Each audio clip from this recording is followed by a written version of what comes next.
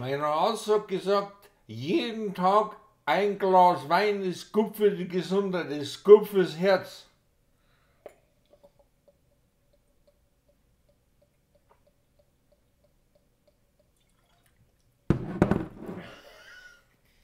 Viel Linken, viel Flüssigkeit.